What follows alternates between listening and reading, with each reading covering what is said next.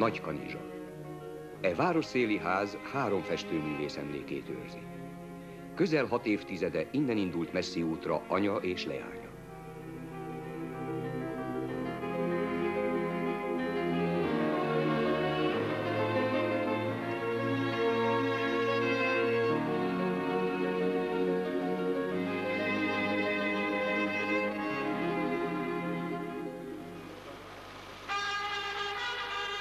Ez a videóhíradás Indiából érkezett. Új Delhiből az elnöki palotából tudósít. Az állami díjak átadásának ünnepi pillanatait rögzíti. A kitüntetettek között van Brunner Erzsébet is, aki édesanyjával együtt művészi képességét, életét India szolgálatába állította.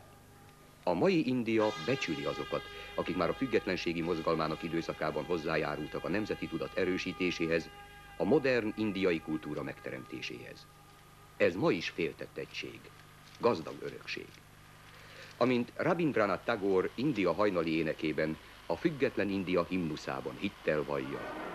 Te vagy gondolataink ura, benned testesül India végzete.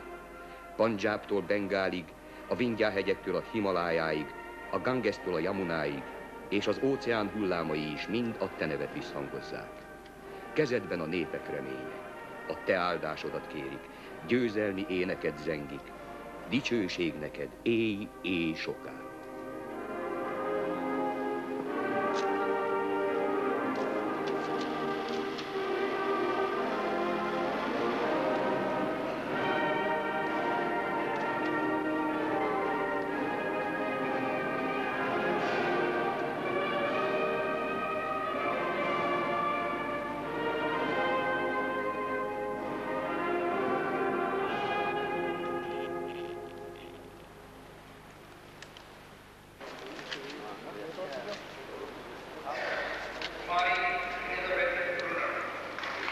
Ezt a pillanatot az édesanyja már nem élhette meg.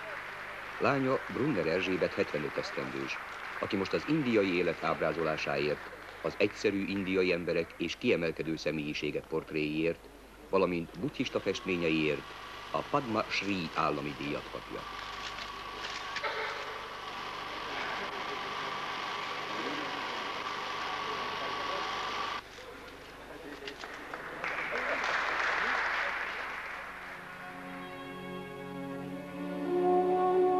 1984 májusában Delhiben az Indiai Művészeti Akadémia központi galériája adott otthont a két festőművész retrospektív kiállításának. A több száz táblaképen szinte önfeladó azonosulással jelenítették meg indiai környezetüket, őszinte meggyőződésből választott új életterüket. Magyar lánynak születtem, és indiai festő lettem. És mind a kettőt imádom. Anya és leánya az első világháború utáni sebzett Európából 1930-ban érkezett Indiába, amely második hazájukká vált. Sikerük, nemzetközi rangjuk az indiai tradíciók és a modern nyugati törekvések eredményes ötvözetében és szintézisében rejlik. Magyarországon csak két kiállításuk volt, de világszerte ismertek. Indiában 40, az Egyesült Államokban 12, Japánban és Nagy-Britanniában 5-5 kiállítást rendeztek, de sikeresen mutatkoztak be Burmában, Sri Lankában és Tájföldön is. Nem az exotikum, hanem India sajátos szellemisége ragadta meg őket. Szimbolikus festészetükben nem csak allegórikus tradíciókra építenek, hanem új metaforákat is teremtenek.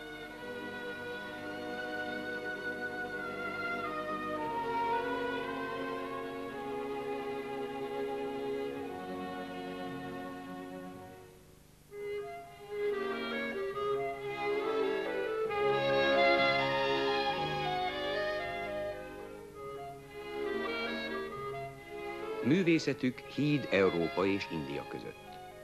Indira Gandhi magyarországi látogatásakor Brunner festményeket hozott ajándékba, amelyeket a Nemzeti Galériának és a Nagykanizsai Túri Múzeumnak adományozott. Bár igazi hírnevüket távol a hazától, a 700 milliós Indiában értékel, művészetükre két ország, két nemzet lehet büszke.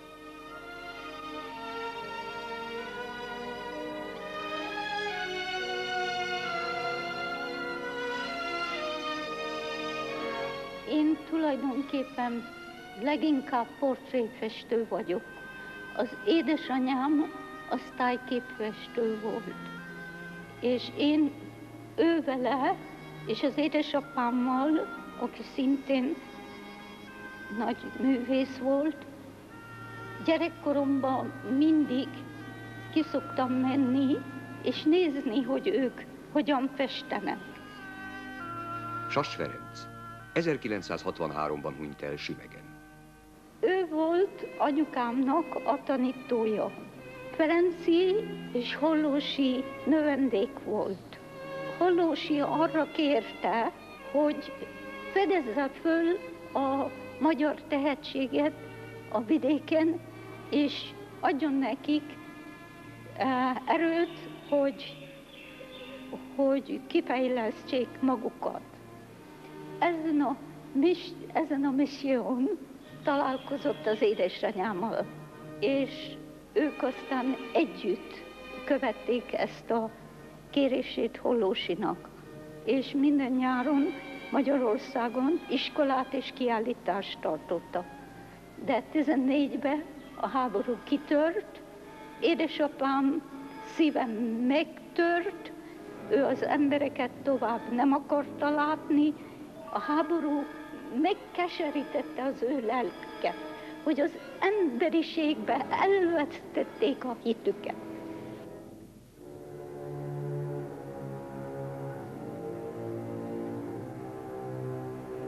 Mielőtt még Indiába érkeztünk, én nekem volt egy álmom.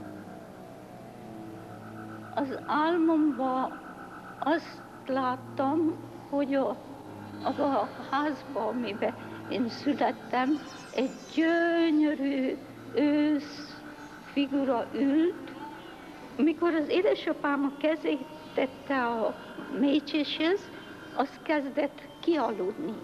És én borzasztó megijedtem, hogy ez a mécses nem alhatik ki. Ennek nem szabad kialudni, és rám nézett, és azt mondta, take this light to every corner of the world. This must go to every corner of the world. Az anyát és leányát az emberi kiteljesedés reménye vezette századunk nagy humanistájához, Tagorhoz, aki bengáli birtokán Santini Ketánban egy új, sajátosan indiai egyetemet alapított. Mindenki megfért itt egymás mellett, nemzetiségre, kasztra, vallási hovatartozásra való tekintet nélkül. Külföldieket és női hallgatókat is szívesen láttak. Az India szellemét megbénító idegen uralommal Tagore az indiai életforma megbecsülését, az ősi hindu kultúra értékeit állította szembe, és hagyományos keretek között terjesztette. Egyeteme nemzeti jelleget öltött, amely egyben nemzetközi is volt és modern. Népe önbecsülését adta vissza, és azt a tudatot erősítette, hogy India újból önmaga erejére támaszkodhat. A politikai vezetők is szoros szálakkal kapcsolódtak az egyetemhez, amely a függetlenségi mozgalom szellemi központja lett.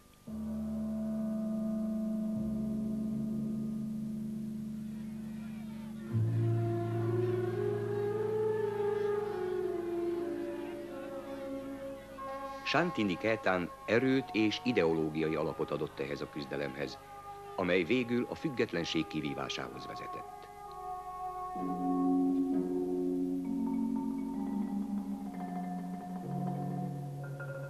Mert a tagor a világ megváltását hozta az emberek elé az írásaiba olyan meleg, őszinte szeretet sugárzik ki az ő szívéből az emberiség minden rész, minden fajához.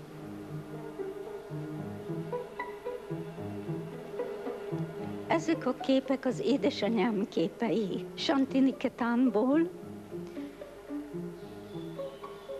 ő allegórikusan föstötte tagort. Például ez a kép a fák között életének az ősz idején van.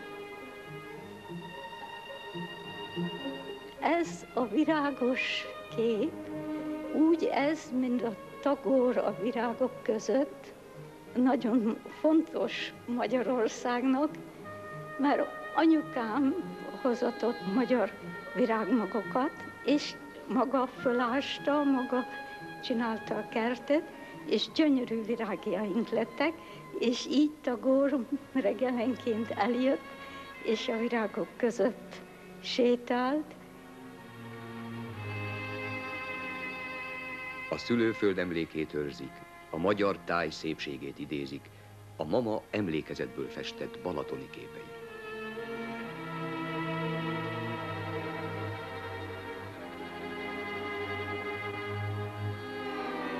És Indiába Tagor fogta őt kézbe, és két év alatt megtalálta magát, és akkor Tagor mondta, hogy most már megértette Indiát, az indiai szellemet, és menjenek India minden részébe, és nézzék, hogyan van a Himalája ereje az indiai művészetbe kifejezve. Aztán maguk is fejezzék ki, amit találtak.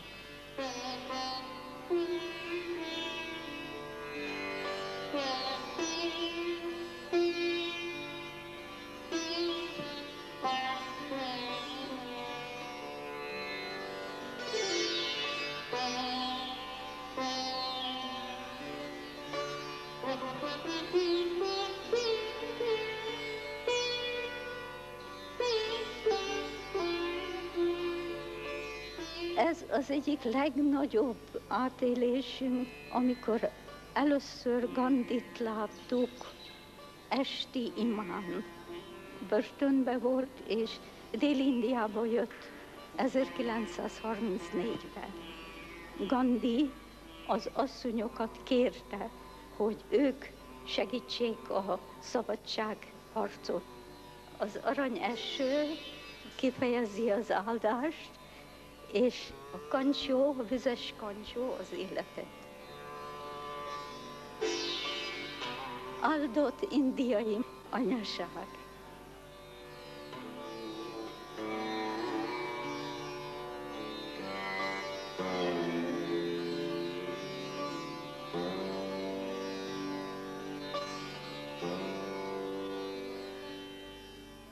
Az indiai éjszaka az sok mindent kinyit.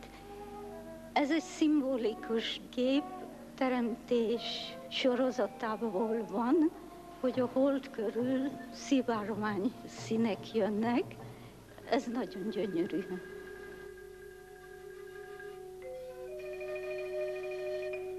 Ez a Darjeelingi Himalaya sorozat,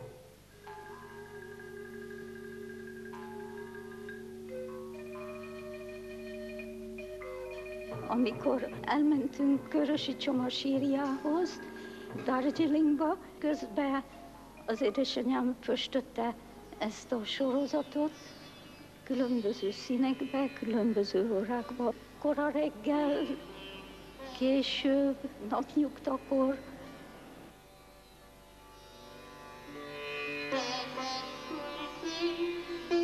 Édesanyám a Kincsinyongát imádta, a Himaláját imádta, és a virágos fákat imádta. Hát ez a kép, ez mosolyog és örömet ad, és boldogságot, és szilüetjével a Teodár fa nagyon-nagyon picturesque.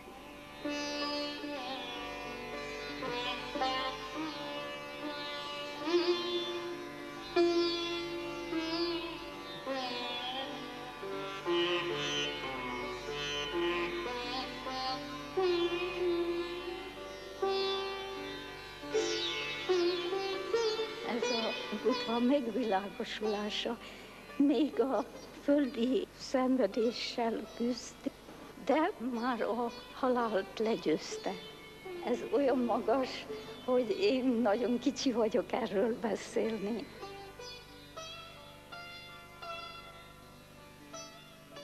Ez az édesanyám portréja. Ő soha nem ült én nékem, de szerencsére egyszer nem vette észre, és én az ablakon keresztül leföstöttem. És így van egy képem az anyámról.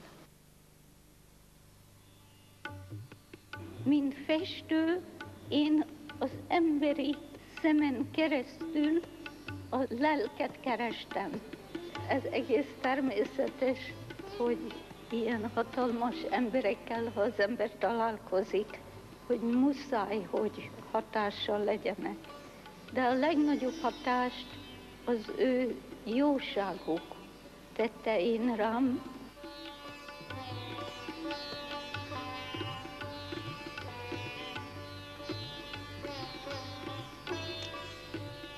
Ezek a gyönyörű emberi megnyilatkozások hatottak én rám legjobban, hogy én ő bennük igazi embert láttam, és nem csak propagandistát. Szerencsére olyan kiválasztott voltam, hogy a világ egyes legnagyobb embereinek a arcképét föstettem. Ez a portréja Nerunak nem ülés után föstöttem, ő a Himalájával egy volt. Ez a kép is Tagort jellemzi, ő maga azt mondta erre a képre, hogy sokan föstötték, but this young girl has got me really. Ez a Dalai Lama portréja olyan kérdéseket adott én nekem közbe, ami az egész életemre kihat. Itt a Dalai Lama áldja meg a népet,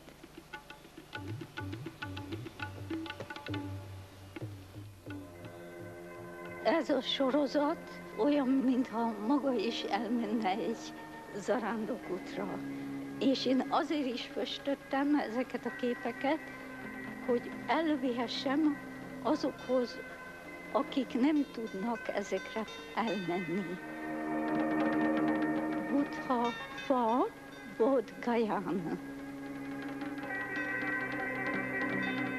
Észak-Barma a zarándokok Buddha szobrokat tesznek egy barlangba, és ez azt ábrázolja,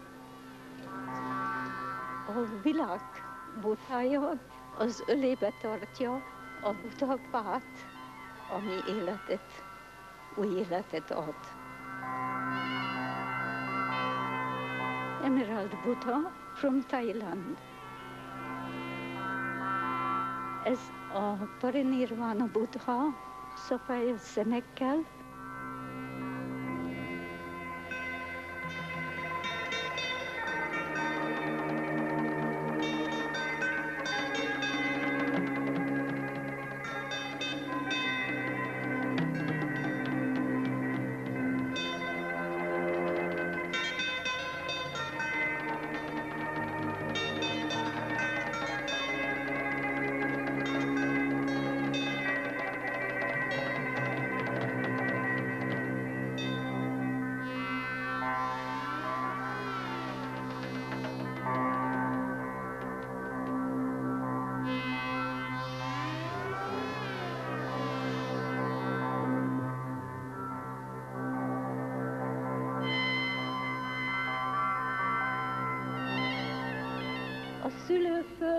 az emberrel belemarad. Az soha-soha el nem távozik. De viszont annak az alapján az ember sokkal inkább meggazdagszik lelkileg, ha a lelkét kinyitja, és szívesen fogadja a látványokat, a szellemi befolyásokat, és azt fogadja el, ami magának leghasznosabb és legszebb. Magyarországnak mindig nagy kultúrája volt, talán egyes országok gondolják, hogy Magyarország kicsi ország, de Magyarország kicsi ország nagy lélekkel és nagy szellemmel. Hát a fejünket hagyjuk meg az igazság előtt. És kérem, adja át az én őszinte, meleg szeretetemet és minden jó kívánságomat.